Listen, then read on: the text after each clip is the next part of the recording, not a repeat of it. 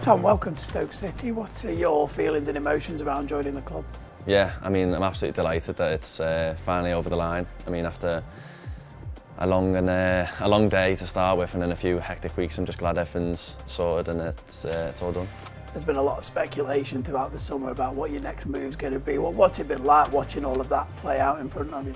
Yeah, I mean, I kind of just you know try and switch off as much as I possibly can, but I mean, obviously nowadays you you tend to see it, but I've kind of just tend to switch off and obviously I've spoke to the people close to me and obviously the club and realised it was it was the place to be so I'm just delighted that it's all done. The people inside the club obviously spoke very well and players who I've known played here previously spoke well about the club too and obviously I've had loads of messages from the fans and I felt that love already which I feel in any club you're at is is massive you know to to feel loved and appreciated at a club is is really nice so I'm hoping that you know I can repay the fans with goals. What have uh, Steven Schumacher and Jon Walters said to you about the, the role that you will play at the club? Yeah, they've been great. I mean, it's, one of the main reasons is obviously for me to, you know, get the game time and get goals, and that's what I've, that's what I do. You know, given the chance. So I'm hoping that I can just get off the mark as soon as possible and go from there. The Casadei pops it back, clipped into the box by Justin. Be a good effort by Cannon, and a first goal for Leicester City from Tom Cannon.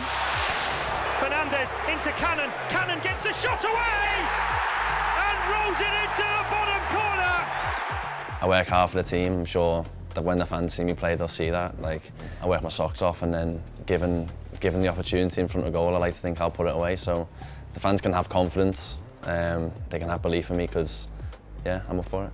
And how's your game developed in the last couple of years, and what are the next steps for you in that regard? Yeah, it's developed a lot. I mean, working under the likes of obviously Enzo at Leicester, and then Steve Cooper now, they've obviously both brought in different ideas, different styles of play and yeah, it's just taking little bits of of advice or little bits out of training or like how they play that you try and implement into your game and I think overall it's it's improved a lot. And what do you make of the Stoke City group that you're coming into? Yeah, it looks good from the outside looking in, it looks exciting. It's obviously a young team. Um, Stoke's obviously a massive club, it's needless to say, so I'm just absolutely delighted it's all done. You come in ahead of an international break, which means a couple of weeks until your debut. What does that give you an opportunity to do in terms of preparation? Yeah, it gives me time to settle, obviously get to know the lads, get to know a feel for the place, which is important. And uh, I'm sure once that, that'll happen, we'll, we'll do well.